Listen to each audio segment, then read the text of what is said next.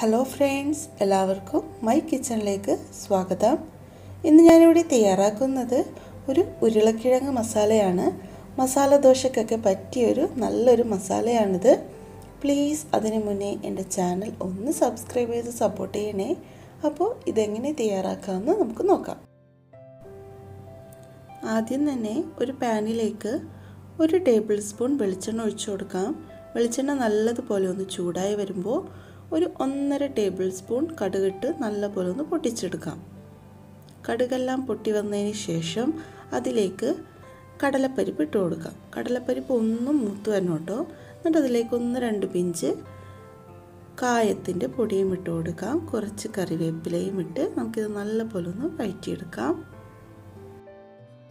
ഇനി ഇതിലേക്ക് രണ്ട് ചെറിയ സവാള മുറിച്ചത് ഇട്ട് കൊടുക്കാം. ഇത് നല്ലതുപോലെ ഒന്ന് വഴറ്റിയെടുക്കണം. സവാള ഒന്ന് വഴന്നു വരുമ്പോൾ അതിലേക്ക് രണ്ട് പച്ചമുളക് ചെറുതായിട്ട് മുറിച്ചത് ഇട്ട് കൊടുക്കാം. ഇത് മൂന്ന് എല്ലാവരും ഒന്ന് ഇളക്കി യോജിപ്പിച്ചെടുക്കാം.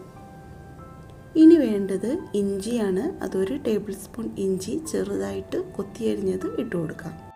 ഇനി എല്ലാം കൂടി ഒന്ന് രണ്ട് മിനിറ്റ് ഒന്ന് വേവിച്ചെടുക്കാം. അതിനുശേഷം ഇതിലേക്ക് അര ടീസ്പൂൺ മഞ്ഞൾപ്പൊടി ഇട്ട് കൊടുക്കാം. മഞ്ഞൾപ്പൊടി ഇട്ട് നല്ലതുപോലെ ഒന്ന് ഇളക്കി യോജിപ്പിക്കാം. ഇപ്പോൾ സവാളയൊക്കെ നല്ലപോലെ വഴഞ്ഞു കിട്ടിയിട്ടുണ്ട്. ഇനി ഇതിലേക്ക് വേണ്ടത് ഉപ്പിട്ട് വേവിച്ച ഉരുളക്കിഴങ്ങാണ്.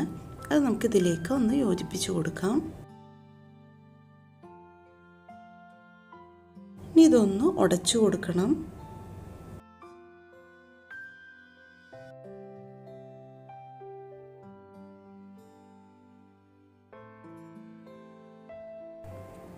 ഉരുളക്കിഴങ്ങൊക്കെ നല്ലതുപോലെ ഇതുപോലെ തന്നെ ഉടച്ചെടുക്കാം ഇനി വേണ്ടത് കുറച്ച് കറിവേപ്പില കുറച്ച് മല്ലിയില ഇതെല്ലാം കൂടി ഇട്ട് ഒന്ന് യോജിപ്പിച്ചെടുക്കാം.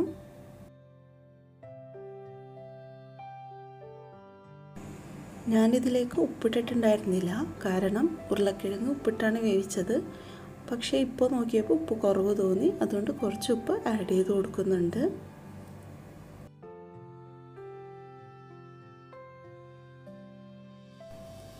നമ്മുടെ ഉരുളക്കിഴങ്ങ് മസാല ഇവിടെ റെഡിയായി കിട്ടിയിട്ടുണ്ട്.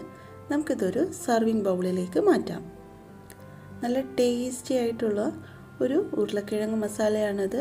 മസാല ദോശക്കൊക്കെ പറ്റിയ നല്ലൊരു മസാലയാണിത്. അപ്പോൾ എല്ലാവരും ഇതൊന്ന് ട്രൈ ചെയ്ത് നോക്കണം.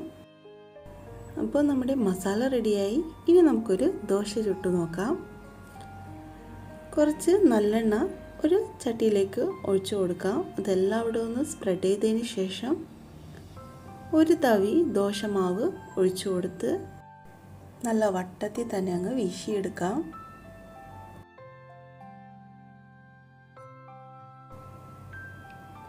ഒന്ന് മുരിഞ്ഞു വരുമ്പോൾ ഇതിലേക്ക് അല്പം നെയ്യ് ആഡ് ചെയ്ത് കൊടുക്കാം.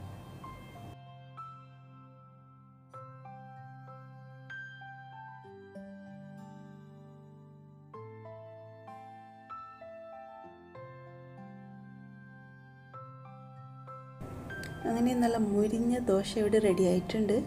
ഇതിലേക്ക് നമ്മൾ നേരത്തെ തയ്യാറാക്കി വെച്ച ഉരുളക്കിഴങ്ങ് മസാലയും കൂടി ചേർത്ത് വെച്ച് നല്ലൊരു മസാല ദോശ ആക്കിയെടുക്കാം അപ്പോൾ ഇതെല്ലാവരും ഒന്ന് ട്രൈ ചെയ്ത് നോക്കണം.